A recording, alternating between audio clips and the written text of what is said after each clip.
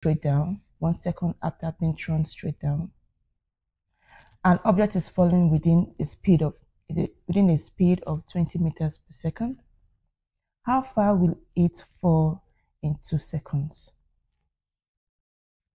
So looking at this, we are looking for how far distance, how far will it fall in two seconds. That's we're looking for the final velocity in this thing.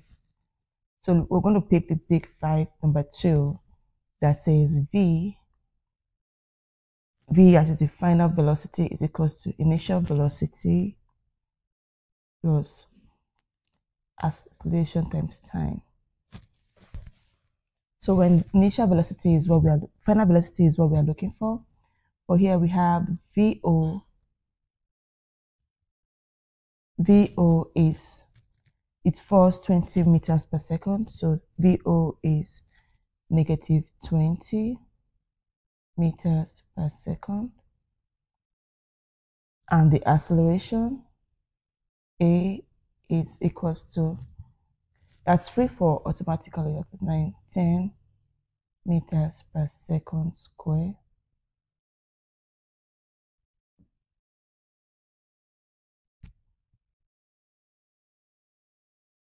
And the time taken takes 10, 10, 2 seconds. Two seconds. Now for us to find the V, the V would be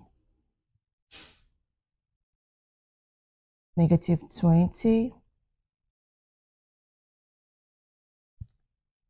plus negative 10 times 2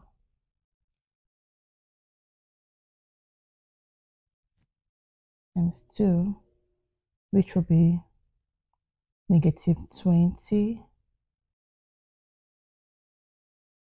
minus negative 20 which equals to V negative 40 meters per second. So that is the final velocity with 40 meters per second. It takes it 40, 40 meters per second for it to fall two seconds later. All right.